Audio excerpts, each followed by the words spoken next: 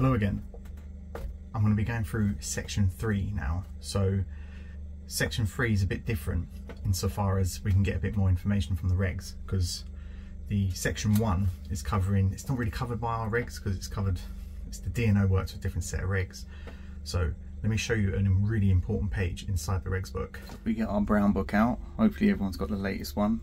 I assume this is the latest one. Uh, page 527. Now this is a example of the inspection sheet that we're going to go through. What's important on this, so section 1 is to list what I listed in my last video. However, when we go down, notice that each one of these has a reg after it. So you can actually look up exactly what you're looking for. So this is where things can get a little bit easier while going through the inspections to refer them to a reg. So let's start with 3.1, presence and condition of distributants earthing equipment. These are our regs. So for 3.1, we've got these two regs, TNS and TNCS, and they're both the same thing. Basically, a main earthing terminal of the installation should be connected to the earth point of the source. So if we have a look here, there is two earths in here. There's a separate TNS earth and there's one coming off the sheath of it but they've both been provided and connected to the MET so so far so good. 3.1 is a tick. Now 3.2 is the same but for an earth electrode. So it's literally the reg underneath it and it's the same thing. As this isn't a TT we're going to put NA in that box. It's non-applicable to this installation. So our next one is 3.3 provision of earthing and bonding labels at all appropriate locations. There's our reg number, as if by magic, here we are. A durable warning notice with the words safety electrical connection do not remove shall be securely fixed in a visible position at or near the point of connection for every earthing conductor to an earth electrode, It's basically at the bonding to extraneous conductive parts, and a main earthing terminal where separate from switchgear. So I've bonded these two old gas pipes so you can see oh that's a nice noise so you've got the words there on our bonding clamps. This is the MET so the MET has safety electrical connection on it which is separate from the fuse board. Um, now I'll take you over to the gas now. Now this is my gas pipe and this is what Octopus done when they removed my gas meter. So um, yeah, it's there and the label's there. However, we'll get to this further on in the video. Oh, see that? In case you didn't know, I work out.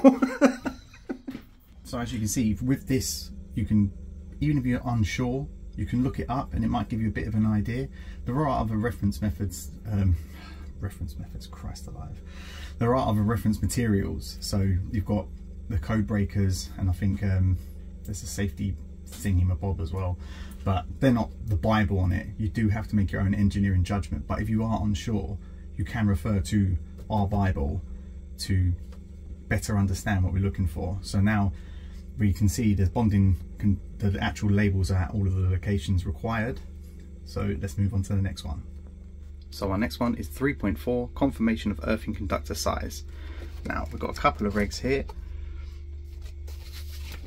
Let's get to the right page. So the cross-sectional area can be calculated in accordance with regulation 543.1.3, which is our adiabatic equation, or it can be selected in accordance with regulation 543.1.4, which is here, which states that we can use table 54.7, 54.7, which is here. And there's our table.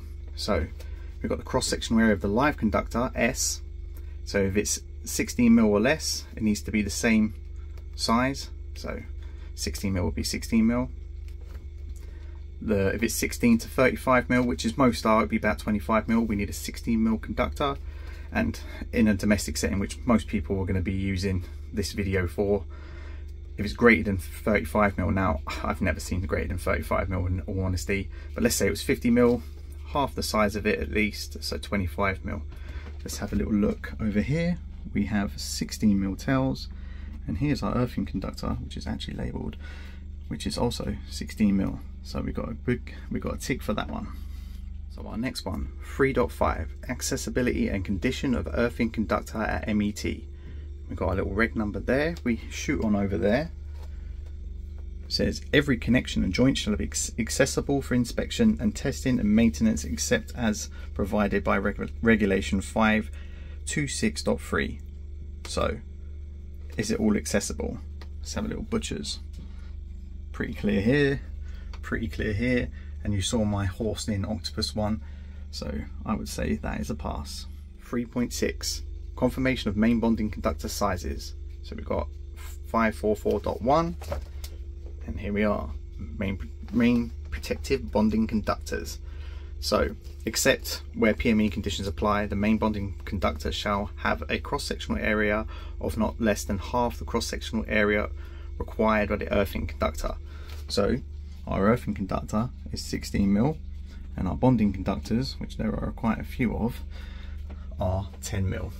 So that is another pass on that inspection. What you may find is 6 mil bonding conductors on a PME system. Now, this would be coded as a C3 in my opinion, unless you had signs of burning where things were being diverted down to a separate earth path. So there might be a bad PEN conductor and then these might start getting, the 6 mil might start getting hot. So something to bear in mind. It may not be ideal, as in it's not half the size. However, when it was installed, it was probably okay.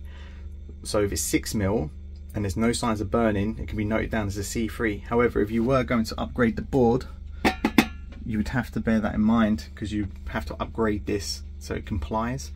So if you are upgrading a board and the bonding's only 6 mil, you're going to have to quote for the bonding to be upgraded as well. Okay, 3.7, condition and accessibility of main protective bonding conductor connections.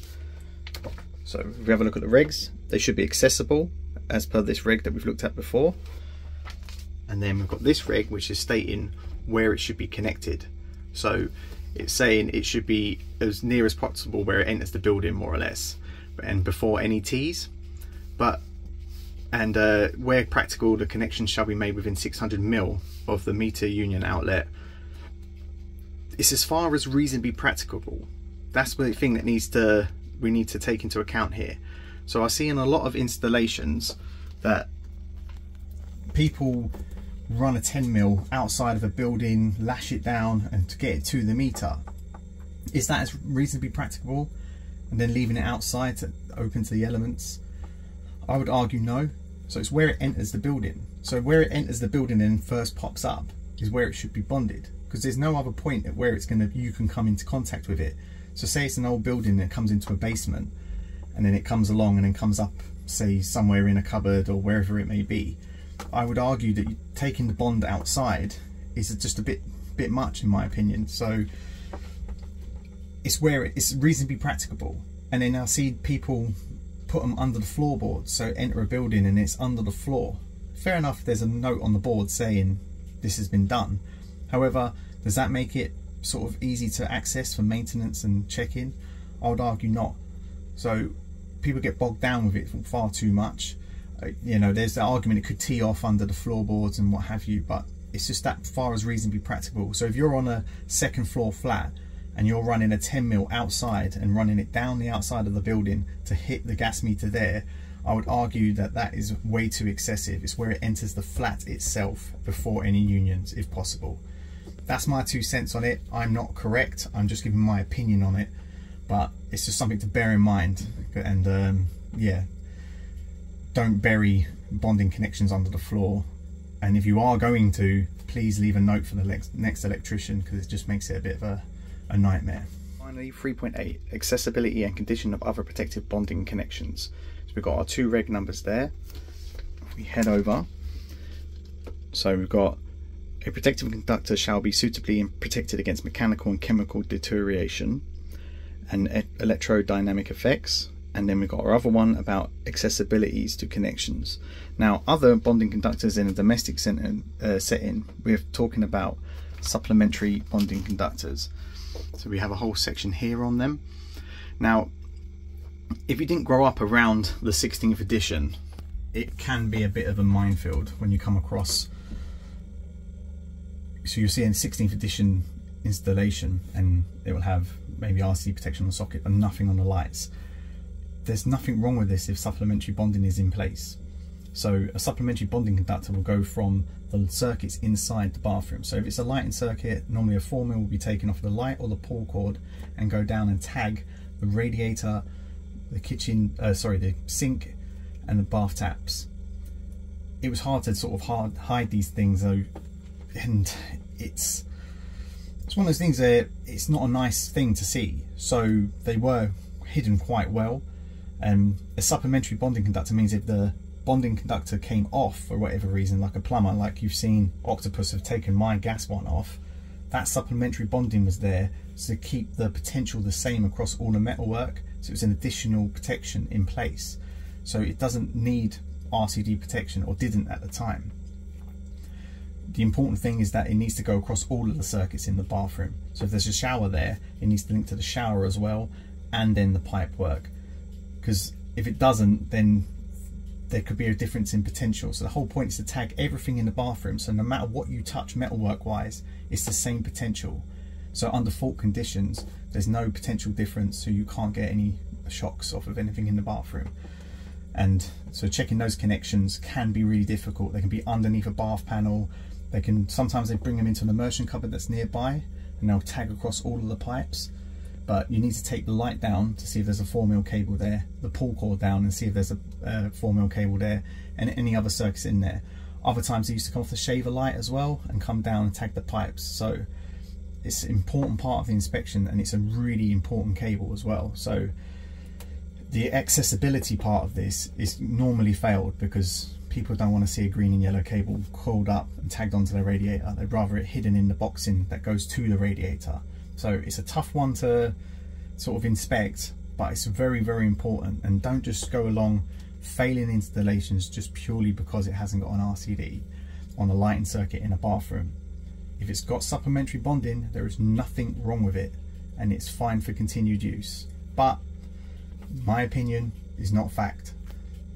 Do your own research and due diligence. This is just a little guide and sort of help for it. But it's, it's, something that is a bit of a bugbear of mine and a lot of people get ripped off when there's nothing wrong with their installation. It could be better, don't get me wrong, RCDs are fantastic, but it seems to be just RCD everything. It's not a cure-all for everything, and uh, yes, a lot of people do get ripped off, unfortunately. But let me show you that uh, earthing connection again that Octopus left. So as I said, when this was uh, the gas meter was taken out, this is how they left my installation. So they've left it in an unsafe condition because this isn't tagged. I mean, realistically, I'm not likely to touch this and anything else in my house because it's buried in a cupboard, but it's not great. And unfortunately, and I'm not knocking plumbers, but I am, they seem to think this is just nothing. It's something that gets in their way. So they quite often just go, oh, don't need that and sod it off. So when you're doing your EICRs, you do come across these sorts of things the easiest thing to do is just to pop it back on and, uh, and be done with it.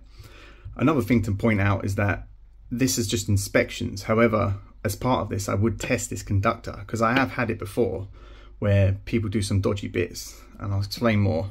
So what I've seen electricians do is they get a bit of 10 mil, connect it into the fuse board and then they shove three or four meters up into the ceiling and then they'll do the same at the water or gas and then we'll connect it and shove it up into the ceiling. So it looks like it's bonded. So if you're just doing visual checks just to look at it you think right that's bonded. No problem. But unless you're using your tester to confirm that it's actually connected then how can you possibly know it's a good connection? So I would always take the MET take the cable out well power off first take the cable out the MET and then test the uh, length of cable to prove that it's actually one long piece of cable and the resistance isn't through the roof. There's this weird number that comes 0.05 and it has to be below that value. I'm not sure where that actually comes from. If you can show me where it comes from in the regs, please put it in the comments because as far as I know, I'm not sure where it comes from. I mean, there's not, I can't see anything that says that the reading has to be below 0.05. I imagine it's because of the length of conductor. So if it gets over that value, the conductor's probably a bit too long. So it'd be better to be upgraded to maybe a 16 mil or that kind of thing. But let me know if you know where that number comes from because it's a mystery. But 100% should be testing it with your wander lead and getting a reading just to confirm it. Hopefully that's helped you uh, better understand section three of our inspection schedules. Um, I'm going to try and do the rest as I go along and uh, go through the rest of the section. So we've got our consumer units and final circuits. Those are going to be a lot more in depth and because um, there's so many more bits that you can find and um, there should be some good examples of what to find, common mistakes. I'm going to keep banging my head on this epoxy thing above me, but uh, yeah, hopefully you enjoyed it. See you next time.